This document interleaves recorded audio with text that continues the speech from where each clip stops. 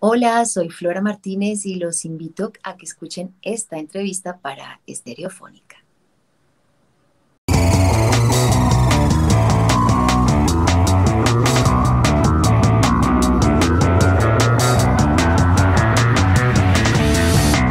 Hola, ¿qué tal amigos de Estereofónica? El día de hoy tenemos una actriz estupenda, una colombo canadiense que tiene una carrera actoral absolutamente exitosa. Pero el día de hoy nos trae una sorpresa. Estamos con Flora Martínez. Flora, ¿qué tal? Buenas tardes. Muy buenas tardes para todos. Gracias por la invitación.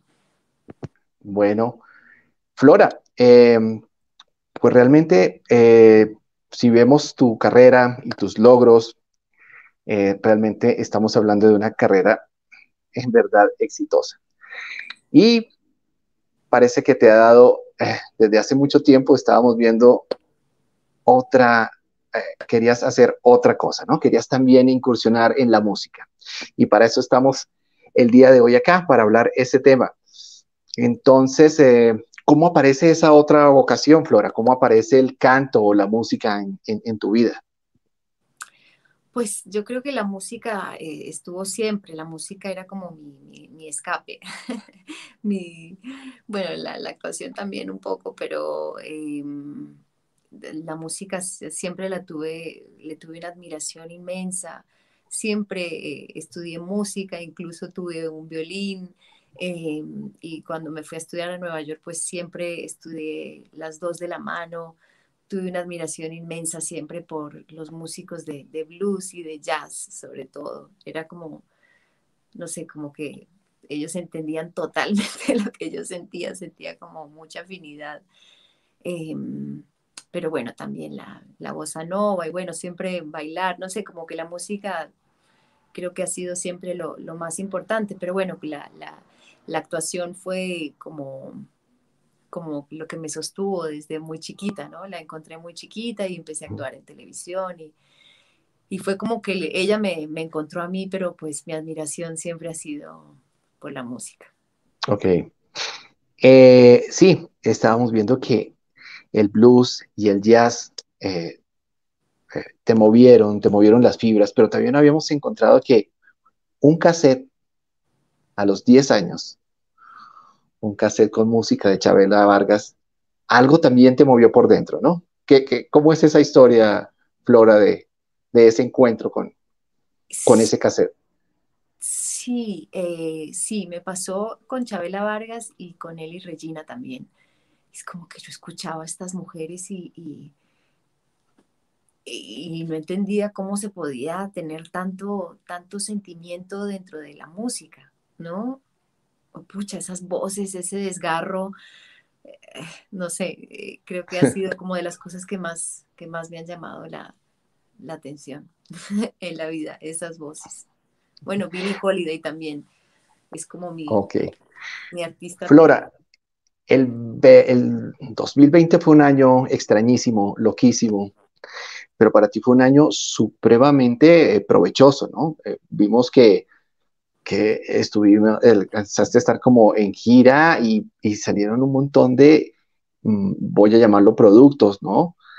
Eh, de Flora Martínez. Entonces nosotros eh, conocimos, por ejemplo, no puedo dejar pasar este, esta interpretación fabulosa que hiciste de esta interpretación eh, que hiciste, que además se volvió un ejercicio por internet.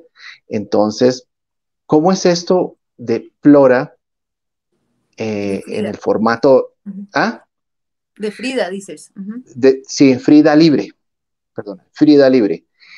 ¿Cómo, ¿Cómo, es que Frida Libre toma forma y, y, cómo es que después tienes que adaptarlo para que sea un ejercicio live streaming y, y además un ejercicio absolutamente exitoso? Cuéntanos un poco de eso sí, realmente ya también llegó como por accidente la obra de Frida. Eh, fue algo bellísimo que me permitió eh, honrar aún también a la vida de Frida, que me parece, a mí lo que más me gustaba de Frida era como desde chiquita, también desde los 15 años que fui a México por primera vez, era su forma de amar, como que, como que la admiré desde que entré a esa casa y vi que estaba llena de esa admiración que ella tenía por Diego y en sus diarios. Me enamoré como, como ella amaba y yo sentía que yo amaba de la misma forma como ella amaba. Entonces fue muy lindo poder rendirle ese homenaje sobre las tablas y después, como tú dices, llevarlo al streaming fue todo un reto. No, no, no sabía que, podía, que lo, que lo, iba a poder hacer, o sea, dudaba mucho de, del teatro en streaming, pero realmente fue una experiencia bellísima, bellísimo sentir que, una obra puede ser vista en todo el mundo al mismo tiempo es súper es, poderoso y, y bueno, creo que las cosas están para romperse y reinventarse, así que me gustó mucho la experiencia. Estupendo. Flora, también hay un ejercicio maravilloso, ni soy de aquí, ni soy de allá. ese, ese tributo que le haces a, a, la obra de Facundo Cabral. ¿Cómo fue, cómo fue esa experiencia? bueno, eso fue en un, disco de homenaje que hicimos para Chabela. Chabela Ritual fue un disco que grabamos ahorita en, en la pandemia. Y una de las canciones que encontré allí fue esta canción de No soy de aquí ni soy de allá. Me gusta el sol y la mujer cuando llora, las golondrinas y también las señoras. Saltar paredes y abrir los balcones. Y las muchachas en abril. Yo ya era fan de Facundo Cabral. Soy fan de él. Eh, debería escuchar más sus audios para los que no lo han escuchado, es, es brutal. en momentos difíciles lo recomiendo, ahí están sus audios en, en YouTube y es tremendo. Y bueno, esa canción, No soy de aquí ni soy de allá, pues no, no podía faltar y, y, realmente amo las dos versiones, tanto la de Facundo como la de, de Chabela. Flora, cuéntanos un poco de mm, este ejercicio de me equivoqué otra vez. Tenemos ahí una unión de el jazz y el cabaret. Entonces, eh, es muy interesante ver cómo eh, también hay una tendencia de una tendencia de Flora también hacia lo hacia el jazz, ¿no? Además de, de, estos ejercicios de música latinoamericana, pero sí hay una constante, el jazz, el ragtime, eh, este tipo de club, el, el, cabaret, es algo que, que parece, te llama la atención. Me advirtieron y no quise escuchar. Tu presencia derribó mi indiferencia. Y a ni modo tengo de dar marcha atrás. Sí, totalmente. Bueno, las voces, no sé, de Billie Holiday, de La Fitzgerald. Eh, con esos cats que hacen, bueno, por ahí un poco el es haciendo un poco alusión a, a, esas mujeres, a, ese, a esa música. Y bueno, me equivoqué otra vez, como lo dice su letra, pues está eh, inspirado en todas las veces que nos equivocamos en el amor y nos pareció pues simpático hacerlo en, en bolero y, pues la gente lo ha recibido muy, muy bien, estamos súper contentos, tiene unos músicos increíbles, Néstor Vanegas, Fabio Ortiz, Orlando Barredo, José Reynoso, por supuesto, que es mi esposo, pianista, guitarrista y productor, y pues no, no, no se puede pedir más. Flora, parece que este año, y parece que muy próximo, ah, vamos a salir de toda esta situación extrañísima que nos ha tocado vivir. Mm, me gusta pensar que estamos ya a, pocos meses de esto. ¿ah? Eh, entonces, ¿qué viene, Flora? ¿Cuál es ese primer proyecto en el que te vas a meter? Muy musical, sabemos que es muy musical y sabemos que está ligado al jazz y que quieres involucrar algunas cosas latinoamericanas, pero sí nos gustaría que eh, nos dijeras ah, para Estereofónica, bueno, ¿qué es lo primero que se viene de ya cuando se normaliza esto? Bueno, lo primero que se viene es en el Teatro Colón, 7 y 8 de mayo. Es un concierto que vamos a hacer para las madres, pero pues que va a tener mucha poesía, músicos grandiosos, trompeta, piano, eh, o sea, muchas sorpresas eh, musicales y muchos homenajes a estas madres que sin ellas no somos nada. Así que todo para ellas. 7 y 8 de mayo en el Teatro Colón.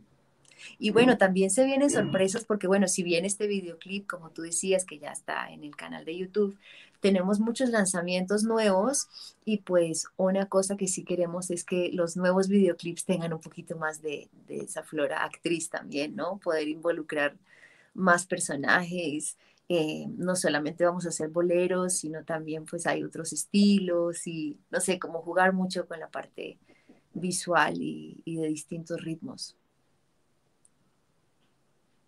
Estupendo, Flora. Personalmente, un estilo, un género musical que te guste mucho eh, de los nuestros, de los colombianos. Pues. ¿Cuál dirías? A ver,